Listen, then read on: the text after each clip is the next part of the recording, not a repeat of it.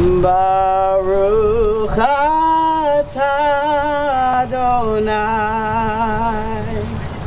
Eloheinu ruach haolam. Asher kid'shanu b'mitzvotav. V'tzivanu lehadlik neshel yom tov. V'tzivanu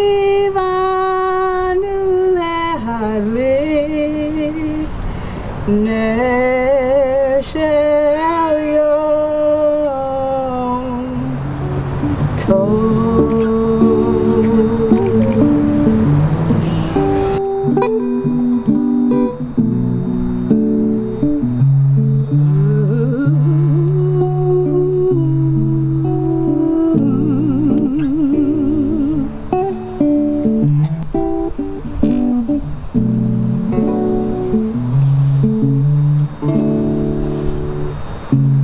the storm passes over and the wave rushes to Assata Shakur taught us together. It is our duty to fight for our freedom. We raise this first glass to her and to our continued fight and to our ancestors who believed in collective freedom and liberation. Fred Hampton, Harriet Tubman, Toussaint Louverture, Frederick Douglass, Marsha P. Johnson, Sylvia Rivera, a blessed memory. And we say the blessing, or actually we can sing it,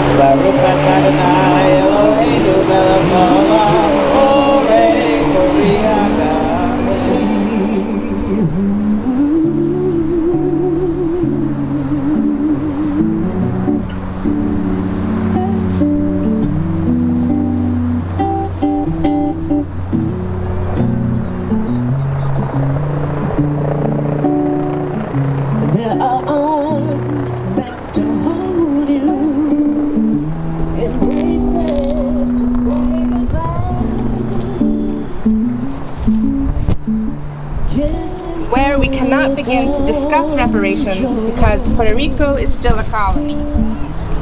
Water is all that separates us from Rikers Island, just out of sight, a few miles upriver. In your heart of hearts, are you grateful for that separation? Is the river a cold barrier or a connecting thread binding you to them and to all of us to the sea, to our ancestors and our homelands? A river can be a vehicle of escape, a means of migration. Like Moses and Harriet, it can take us where we need to go, but only if the chains of our debts are dragging us down. We came here tonight to dance. It is hard to dance in chains. We know we have been doing it and doing it beautifully for far too long. In this moment, we embrace our liberation and embody our vision. We have nothing to lose but our chains. We normally call them slave narratives. But what of our freedom narratives? The narratives that recount our ancestors' lives before slavery, leading to their lives after it. Like the freedom narrative of Venture Smith. I was born in Dukandarra in Guinea around 1729. My father was the prince of our tribe. went to the person who claimed ownership of them as slaves, and they asked for a plot of land to build their new land together. He looked at them and said, I was nice to you people. Some of the other folks done you way worse, and I could have done you worse too. I don't owe you anything in this moment. You got your emancipation, and now I'm out a whole field of slaves. And Cudjo and his people got together and they figured out how to form their own town. They called it Africa Town. And they lived there and they raised their children there. And they tried their best to realize freedom in a place that still wanted to hold them in bondage. And they buried their dead there. And up until this year, So few of us had heard this story. We understand, just like our ancestors, our liberation could never be given or taken away. It's ours. This night we remember this feeling because we know we will have to return to this well again and again to sustain ourselves, to make it through the hard times. Or like the freedom narrative of Sylvia King. I was born in Morocco.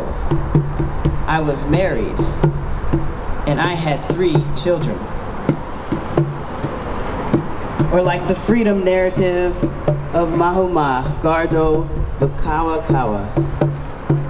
I was born in modern day West Africa in the 1820s, and I was raised Muslim. Our stories, our freedom narratives, they are rich, they are deep, and they are beautiful.